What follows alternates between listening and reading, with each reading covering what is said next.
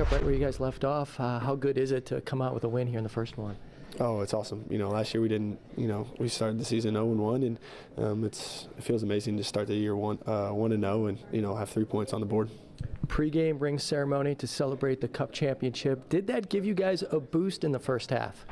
Yeah, definitely. You know, it's it's a super cool um, thing to be able to do, and just to be able to do it the first game of the season is, is also you know something that you know doesn't really happen a whole lot in sports because it takes a while for the rings. But um, credit to the organization for just turning it around so quick. And um, yeah, it definitely gives us a boost. It's, it's, something super cool that you know only one team gets to do every year. So um, yeah, it was it was awesome. With the goal in the 27th minute, and you played the majority of it with that one goal advantage. How hard was it to keep a clean sheet and hold on to the shutout?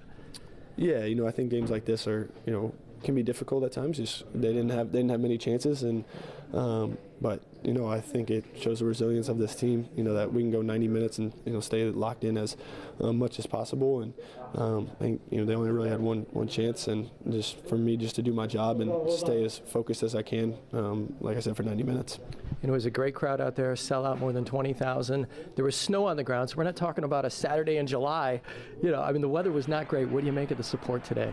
Oh, they're tremendous. You know, it's uh, someone asked me earlier. You know, the rings is a celebration of the team, but it's it's a celebration for this whole city and the, our fans as well. Um, they're they're a part of this team and um, this organization, and you know they're they're amazing. Um, you know they're out there every Saturday, every Wednesday, you know, selling out this place, and no matter rain, sleet, snow, whatever it is, they're they're awesome. I'll tell you, if Cucho wasn't the man of the match, Patrick Schulte definitely could have been.